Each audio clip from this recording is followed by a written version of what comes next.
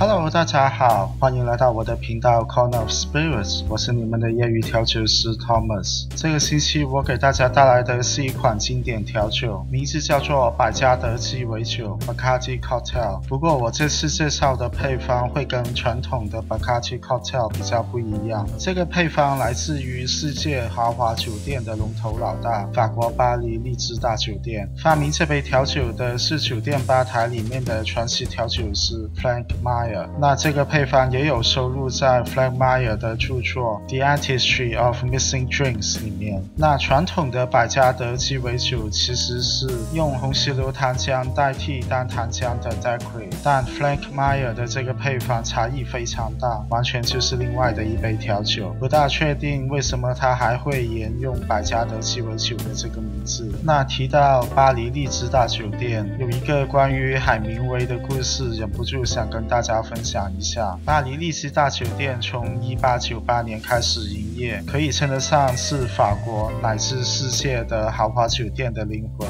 它里面有三个酒吧，分别是 Bar Ritz、Bar Vendome。跟最出名的 Bar Hemingway，那为什么里面会有一间酒吧以海明威的名字命名呢？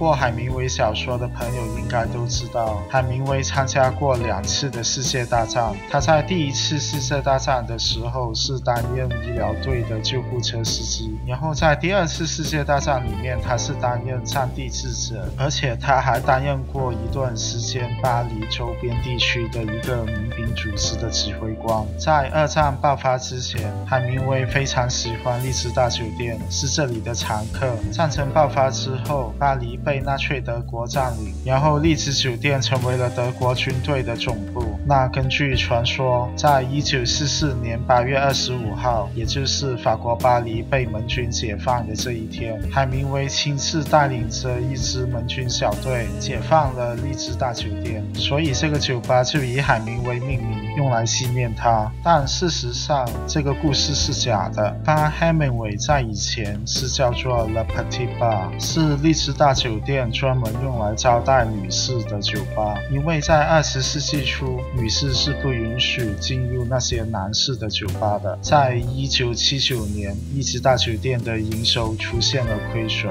然后当时的管理层决定把这个专门招待女士的酒吧重新命名为海明威酒吧。希望蹭一下大文豪的热度，吸引更多的美国游客跟欧洲游客。那海明威跟丽兹大酒店的故事就讲完了。我们现在回到调酒上面，调这杯酒需要用到五种材料：白兰姆酒、甘味美思、单糖浆、红石榴糖浆，以后还有黄柠檬汁。我们先下十五毫升的黄柠檬汁，十五毫升的单糖浆。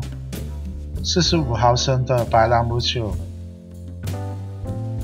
十五毫升的甘味美思，最后下一个八勺，大概五毫升的红石榴糖浆，加冰油大概十秒左右，过滤到一个冷冻好的库杯里面。